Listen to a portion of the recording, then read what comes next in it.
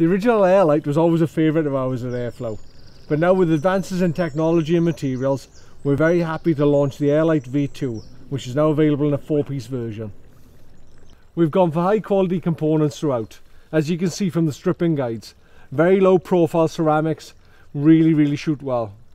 For the intermediate and tip guides we've gone for single leg snakes. Not only do these help reduce weight, but they also improve the rod's recovery rate.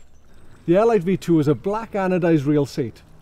It also has a self-aligning locking ring and also you'll find that the rings themselves have been heavily ported which will even further reduce the weight. The demands of the UK based angler are a little different from those of our European and US counterparts and finding rods designed to perform in our conditions, designed by anglers who know our waters and fishing styles are an absolute bonus. With the pedigree of the original Airlite we had numerous requests to reinstate these rods only this time with a marked emphasis on a four-piece construction to make them even easier to transport.